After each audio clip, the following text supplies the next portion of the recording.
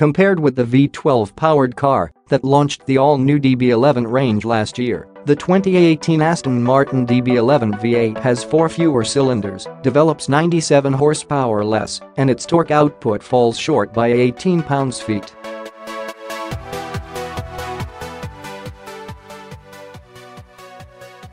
And it's the better car for it. The DB11 V8 looks virtually identical to its gorgeous V12-powered sibling.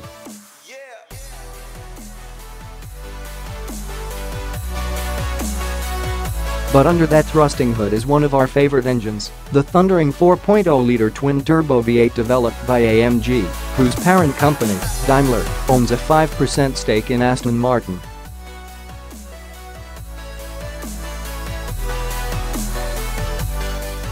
Codenamed M178, this engine is a versatile yet charismatic workhorse, powering all versions of the AMG GT Coupe as well as the 63 Series AMG versions of Mercedes sedans, coupes, wagons, and SUVs, with outputs ranging from 469 horsepower to more than 600 horsepower.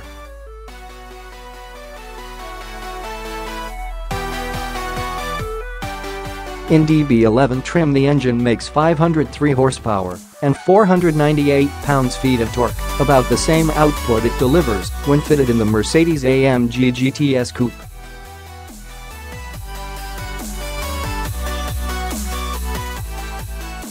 Changes made by Aston engineers include a new intake system, new engine mounts, a new slimline wet sump, unique engine mapping, and a new exhaust system.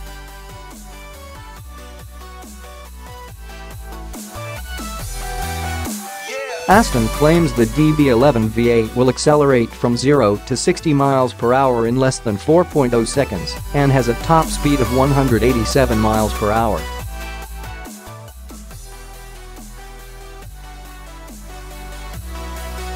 Okay, the DB11 V8 is a tenth or two slower to 60 than its 12-cylinder sibling, and it won't hit 200 miles per hour.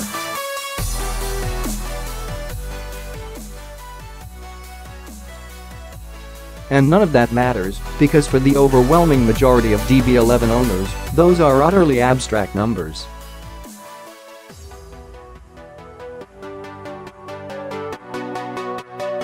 What does matter is the M178 reduces the weight over the DB11's front axle by 253 pounds when compared with Aston's own 5.2-liter twin-turbo V12.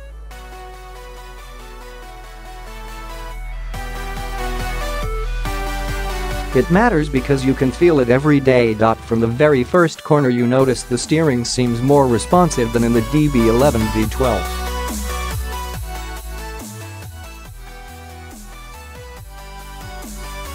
Less weight over the front axle helps, but the 2% rearward shift in weight distribution means the yaw center of the car, the vertical axis about which it turns, is more rearward, closer to where you sit, enabling you to better feel what the rear axle is doing.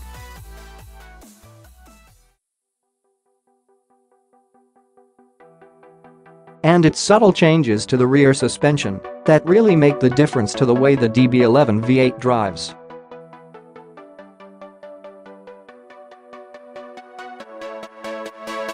The rear shock rates have been stiffened, along with the bushes for the rear subframe and the rear camber link, improving both lateral and vertical support.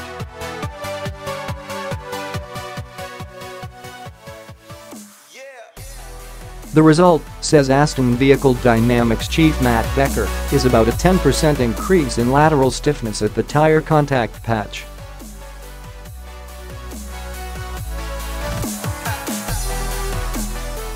You can work the front of the car a lot harder as a consequence, he says, because the rear is just much more honest.